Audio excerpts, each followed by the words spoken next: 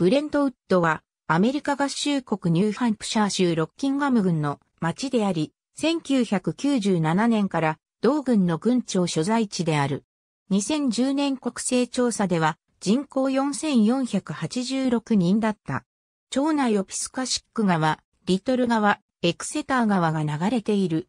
ブレントウッドとなった地域にヨーロッパ人が入ってくる以前、ペナクックアベナ貴族インディアンが住んでおり、農耕を行い狩猟、漁労を行っていた。町を主要な日本の歩道が通っており、一つはエクセター川に沿い、そこでは矢尻など石器や木器が見つかってきた。この歩道はピックポケットダムで歴史あるペンタケットトレールと交差しており、そこからはマサチューセッツ州のヘイブリルやさらにその北につながっていた。ブレントウッドの町域はブレントウッドパリッシュと呼ばれたエクセターの町の一部だった。その名前はイングランドのエセックスにあるブレントウッドから取られており、そこは当初バーントウッドと呼ばれていた。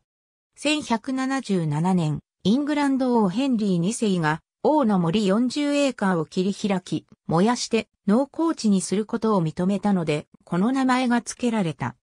1738年にはすでにエクセターの南西部、現在のブレントウッドとフレモントに住んでいた人々が町の分離を請願したが拒絶された。しかし1742年6月26日、分離の許可が不利、ブレントウッドはニューハンプシャー植民地総督のベニング、ウェントワースによって法人化された。町の当初から集会所を置く場所について、町内の地区の間で議論が持ち上がった。そのために町が分裂することになった。その結果、ウェントワース総督が議会の承認もないまま2744年、ブレントウッドの町内にキーンボロパリッシュと呼ぶ新しい町を設立する国王の直居を発行した。この名前は中スペイン大使で、ウェントワースの友人だったベンジャミン・キーン教にちなむものだった。1750年に論争が決着し、キンボロはブレントウッドに戻った。町の歴史書記には、川沿いに作られた工場が材木を生産し、商品を製作したが、町全体は農耕の方に重点を移した。現在はほとんど住宅地になっている。1965年、ブレントウッドは UFO を死認したエクセター事件にわずかに関わった。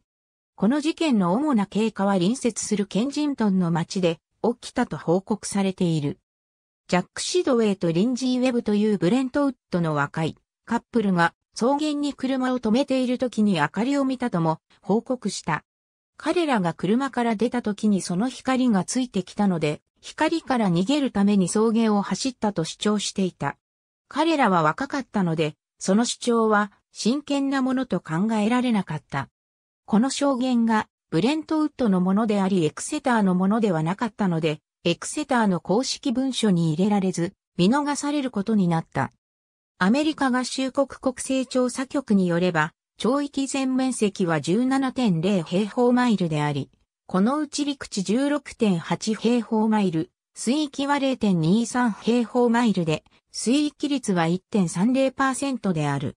町内最高地点は標高275フィートのグレートヒルであり、その頂上は町の南東隅にある。町内をエクセター川とその支流が流れている。町域の全体がピスカタクア川の流域に入っている。メアリー・イーバートレット図書館以下は2010年の国勢調査による人口統計データである。ありがとうございます。